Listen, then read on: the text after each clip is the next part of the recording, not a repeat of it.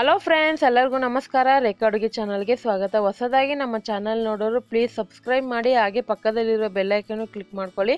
ಬನ್ನಿ, ಇವತ್ತು ನಾನು ಕ್ರಿಸ್ಮಸ್ ಸ್ಪೆಷಲ್ ಆಗಿ ಇದೊಂದು ಸ್ವೀಟ್ ರೆಸಿಪಿ ರೋಸ್ ಕುಕ್ಕೀಸ್ ಅಂತ ಕರೀತಾರೆ. ಸೊ ಮನೆಯಲ್ಲಿರೋ ಇಂಗ್ರೀಡಿಯೆಂಟ್ಸೇ ತುಂಬ ಸಿಂಪಲಾಗಿ ಮಾಡ್ಕೋಬೋದು.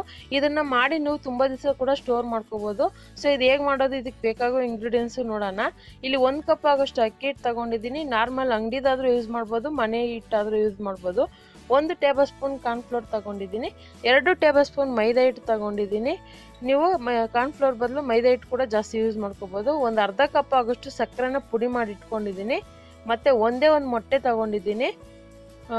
ಆನಂತರ ಏಲಕ್ಕಿ ಪುಡಿ ಒಂದು ಅರ್ಧ ಟೀ ಸ್ಪೂನ್ ಆಗೋಷ್ಟು ವೆನಿಲಾ ಎಸೆನ್ಸ್ ಒಂದು ಐದು ಹನಿ ಹಾಕಿದ್ರೆ ಸಾಕು ಜಸ್ಟ್ ಫ್ಲೇವರ್ಗೆ ಒಂದು ಅರ್ಧ ಓಲ್ಡ್ ತೆಂಗಿನಕಾಯಿನ ನಾನು ನೀರು ಹಾಕಿ ಮಿಕ್ಸಿಯಲ್ಲಿ ರುಬ್ಬಿ ಅದನ್ನು ಸೋಸಿಟ್ಕೊಂಡಿದ್ದೀನಿ ಹಾಲು ಮಾತ್ರ ಇಟ್ಕೊಂಡಿದ್ದೀನಿ. ಒಂದು ಚಿಟಿಕೆ ಉಪ್ಪು ಮತ್ತು ಮಾಡೋದಕ್ಕೆ ಎಣ್ಣೆ. ಈ ರೋಸ್ ಕುಕ್ಕಿ ಮಾಡೋದಕ್ಕೆ ಈ ಥರ ಮೋಲ್ಡ್ ತೊಗೊಂಡಿದ್ದೀನಿ. ನಾರ್ಮಲ್ ಎಲ್ಲ ಪಾತ್ರೆ ಅಂಗಡಿಗಳಲ್ಲೂ ಸಿಗುತ್ತೆ. ಕಮ್ಮಿ ರೇಟ್ಗೆ ಸಿಗುತ್ತೆ.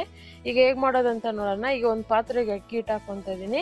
ಮತ್ತು ಕಾರ್ನ್ಫ್ಲೋರು ಮೈದಾ ಹಿಟ್ಟಲ್ಲಿ ಹಾಕೊತ ಇದ್ದೀನಿ. ಕಾರ್ನ್ಫ್ಲೋರ್ ಹಾಕೋದ್ರಿಂದ ಒಳ್ಳೆ ಕ್ರಿಸ್ಪಿನೆಸ್ ಬರುತ್ತೆ. ಅಕಸ್ಮಾತ್ ನಿಮಗೆ ಕಾರ್ನ್ಫ್ಲೋರ್ ಇಲ್ಲ ಅಂದರೆ ಸ್ಕಿಪ್ ಮಾಡ್ಕೋಬೋದು, ಪರವಾಗಿಲ್ಲ, ಏನೂ ಆಗೋದಿಲ್ಲ. ಸೊ ಅಕ್ಕಿ ಹಿಟ್ಟು, ಮೈದಾ ಹಿಟ್ಟು ಮಾತ್ರ ಹಾಕ್ಕೊಳ್ಳಿ. ಇದಕ್ಕೊಂದು ಚಿಟಿಕೆ ಉಪ್ಪು ಮತ್ತು ಏಲಕ್ಕಿ ಪುಡಿ ಹಾಕ್ಕೊತಿದ್ದೀನಿ ಮತ್ತು ಸಕ್ಕರೆ ಪುಡಿ ಹಾಕ್ಕೊತಿದ್ದೀನಿ ಸಕ್ಕರೆನ ನೀವು ಡೈರೆಕ್ಟಾಗಿ ಹಾಕೋಬೋದು ಆದರೆ ಕರ್ಗೋದಕ್ಕೆ ಟೈಮ್ ತಗೊಳುತ್ತೆ. ಅದಕ್ಕೋಸ್ಕರ ನೀವು ಪುಡಿ ಮಾಡಿ ಹಾಕೊಂಡ್ರೆ ಟೈಮ್ ಕೂಡ ಸೇವ್ ಆಗುತ್ತೆ. ಸ್ವಲ್ಪ ಸ್ವೀಟ್ ಜಾಸ್ತಿ ಬೇಕಂದರೆ ಜಾಸ್ತಿ ಕೂಡ ಹಾಕೊಬೋದು ನೀವು. ಮತ್ತು ಇದಕ್ಕೆ ತೆಂಗಿನಕಾಯಿ ಹಾಲು ಹಾಕ್ಕೊತಾ ಇದ್ದೀನಿ. ತೆಂಗಿನಕಾಯಿ ಹಾಕೋ, ಹಾಲು ಹಾಕೋದ್ರಿಂದ ಒಳ್ಳೆ ಟೇಸ್ಟ್ ಕೊಡುತ್ತೆ ಈ ರೋಸ್ ಕುಕ್ಕಿನ ಮತ್ತು ಇದಕ್ಕೆ ಮೊಟ್ಟೆ ಹಾಕ್ಕೊತಾ ಇದ್ದೀನಿ. ಅಕಸ್ಮಾತ್ ನಿಮಗೆ ಮೊಟ್ಟೆ ಫ್ಲೇವರ್ ಜಾಸ್ತಿ ಅನಿಸಿದ್ರೆ ಅಂದರೆ ಎಲ್ಲೋ ಕಲರ್ದು ತೆಗೆದ್ಬಿಟ್ಟು ಬೇರೆ ಎಗ್ ವೈಟ್ ಮಾತ್ರ ಹಾಕೋಬೋದು. ಅದು ಕೂಡ ಚೆನ್ನಾಗಿರುತ್ತೆ. ಹಿಂಗೂ ಕೂಡ ಮಾಡ್ಕೋಬೋದು. ಮತ್ತು ವೆನಿಲಾ ಎಸೆನ್ಸ್ ಹಾಕೊತ ಇದ್ದೀನಿ. ವೆನಿಲಾ ಎಸೆನ್ಸ್ ಹಾಕೋದ್ರಿಂದ ಈ ರೋಸ್ ಕುಕ್ಕಿಗೆ ಒಳ್ಳೆ ಫ್ಲೇವರು ಒಳ್ಳೆ ಟೇಸ್ಟ್ ಕೊಡುತ್ತೆ. ಅಕಸ್ಮಾತ್ ವೆನಿಲಾ ಎಸೆನ್ಸ್ ನಿಮ್ಮ ಹತ್ರ ಇಲ್ಲ ಅಂದರೆ ಅದು ಕೂಡ ಸ್ಕಿಪ್ ಮಾಡ್ಕೋಬೋದು. ಪರವಾಗಿಲ್ಲ. ಸೊ ನಮ್ಮ ಮನೇಲಿ ಯಾವುದಿದೆ ಅದರಿಂದ ಮಾಡ್ಕೋಬೋದು. ಇದನ್ನ ಒಂದು ಗಟ್ಟಿ ಅದಕ್ಕೆ ಕಲಿಸ್ಕೋಬೇಕಾಗುತ್ತೆ. ತೀರ ತೆಳ್ಳಗೆ ಕಳ್ಸಕ್ ಹೋಗಬೇಡಿ. ಕೈಗೆ ಅಂಟ್ಕೋಬೇಕು, ಆ ಥರ ಕಲಿಸ್ಕೋಬೇಕು. ಎಣ್ಣೆ ಕಾಯಕ್ಕೆ ಇಟ್ಟಿದೆ ಈ ರೋಸ್ ಕುಕ್ಕಿ ಮೋಲ್ಡ್ ಇದೆಯಲ್ಲ, ಅದನ್ನು ಎಣ್ಣೆಲಿ ಚೆನ್ನಾಗಿ ಕಾದಿರಬೇಕು. ಆನಂತರ ನೀವು ಹಿಟ್ಟಲ್ಲಿ ಡಿಪ್ ಮಾಡಿ ಹಾಕಬೇಕು. ನೆನಪಿರಲಿ, ಎಣ್ಣೆ ಕಾಯುವಾಗನೇ ಅದನ್ನು ಇಟ್ಬಿಡಿ. ಅದು ಚೆನ್ನಾಗಿ ಬಿಸಿಯಾಗಿರುತ್ತಲ್ಲ, ಅಂಥ ಟೈಮಲ್ಲಿ ನೀವು ಡಿಪ್ ಮಾಡಿ ಎಣ್ಣೆಲಿ ಬಿಡಬೇಕಾಗುತ್ತೆ. ಸೊ, ಒಂದೊಂದೇ ಮಾಡೋವಾಗೂ ಸೇಮ್ ಅದೇ ಥರ ಪ್ರೊಸೆಸ್ ಮಾಡಬೇಕು. ಒಂದು ಒಂದು ಮೂರು ಸೆಕೆಂಡ್ ಎಣ್ಣೆಲಿ ಇಡಿ ಆನಂತರ ಹಿಟ್ಟಿಗೆ ಡಿಪ್ ಮಾಡಿ ಆನಂತರ ನೋಡಿ ಸ್ಪೂನಲ್ಲಿ ನಾನು ಅದನ್ನು ಓಪನ್ ಮಾಡ್ಕೊತಾ ಇದ್ದೀನಿ. ಈಸಿಯಾಗಿ ಬಂದ್ಬಿಡುತ್ತೆ. ನೀವು ಒಂದು ಸರಿ ಟ್ರೈ ಮಾಡಿ, ನಿಮ್ಗೆ ಏನಾದರೂ ಒಂದು ಸರಿ ಟ್ರೈ ಮಾಡಿದ್ರೆ ನಿಮ್ಗೆ ಕರೆಕ್ಟಾಗಿ ಪರ್ಫೆಕ್ಟಾಗಿ ಬರುತ್ತೆ. ಏನು ಮಿಸ್ಟೇಕ್ ಆಗೋದಿಲ್ಲ. ಆದರೆ ಹಿಟ್ಟು ಮಾತ್ರ ತೆಳ್ಳಗೆ ಕಲ್ಸಕ್ಕೆ ಹೋಗಬೇಡಿ. ಸ್ವಲ್ಪ ಗಟ್ಟಿಯಾಗಿ ಕಲಿಸ್ಕೊಳ್ಳಿ. ನೋಡ್ತಾ ಇರ್ಬೋದು.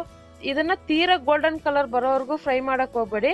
ಇನ್ನೊಂದು ಫ್ರೆಂಡ್ಸ್ ನೀವು ಎಣ್ಣೆಯಿಂದ ತೆಗಿಯೋವಾಗ ಅದು ಸಾಫ್ಟಾಗಿರುತ್ತೆ ಮೆತ್ತ ಮೆತ್ತಗಿರುತ್ತೆ ಆದರೆ ಎಣ್ಣೆದು ತೆಗೆದು ಒಂದು ತರ್ಟಿ ಸೆಕೆಂಡ್ ನಂತರನೇ ಅದು ಕ್ರಿಸ್ಪಿಯಾಗಿ ಬರುತ್ತೆ. ಸೊ ಇದು ನೋಡ್, ನೋಡ್ತಾ ಇರ್ಬೋದು. ಆಲ್ರೆಡಿ ನಾನು ಒಂದು ಮಾಡಿಟ್ಟಿದೆ. ಅದು ಗಟ್ಟಿಯಾಗಿದೆ. ಸೊ ಇದು ಮೆ, ಎಣ್ಣೆಯಿಂದ ಎತ್ತಿದ ತಕ್ಷಣ ಮೆತ್ತಗಿರುತ್ತೆ. ಆನಂತರ ಆರಿದ ಮೇಲೆ ಗಟ್ಟಿ ಬರುತ್ತೆ. ಸೊ ನಾನು ಹೇಳ್ದಂಗೆ ಇದನ್ನು ನೀವು ಏನಿಲ್ಲ ಅಂದ್ರೂ ಮಾಡಿಬಿಟ್ಟು ಒಂದು ಹತ್ತು ಹದಿನೈದರಿಂದ ಒಂದು ತಿಂಗಳವರೆಗೂ ನೀವು ಬಾಕ್ಸಲ್ಲಿ ಇಟ್ಕೋಬೋದು. ಯಾವಾಗ ಬೇಕೋ ಅವಾಗ ಸ್ನ್ಯಾಕ್ಸ್ ಥರ ಮಕ್ಳಿಗೂ ಕೊಡ್ಬೋದು. ಸೊ ಹಬ್ಬ ಸ್ಪೆಷಲಾಗಿ ಇವತ್ತು ಮಾಡಿರೋ ರೋಸ್ ಕುಕ್ಕಿ ರೆಸಿಪಿ ನಿಮ್ಗೆ ಖಂಡಿತ ಇಷ್ಟ ಆಗಿದೆ ಅಂದ್ಕೊತೀನಿ ಇಷ್ಟ ಆಗಿದೆ ನೀವು ಕೂಡ ಟ್ರೈ ಮಾಡಿ ಹೇಗಿದೆ ಅಂತ ನಿಮ್ಮ ಅನಿಸಿಕೆನ ಕಮೆಂಟ್ ಮೂಲಕ ತಿಳಿಸಿ. ಮತ್ತಷ್ಟು ಈಸಿ ರೆಸಿಪಿಗೋಸ್ಕರ ರೇಖಾ ಅಡುಗೆ ಚಾನಲ್ನ ಸಬ್ಸ್ಕ್ರೈಬ್ ಮಾಡಿ ಶೇರ್ ಮಾಡಿ ಲೈಕ್ ಮಾಡಿ ಈ ವಿಡಿಯೋ ನೋಡಿದ್ದಕ್ಕಾಗಿ ಎಲ್ಲರಿಗೂ ಧನ್ಯವಾದಗಳು.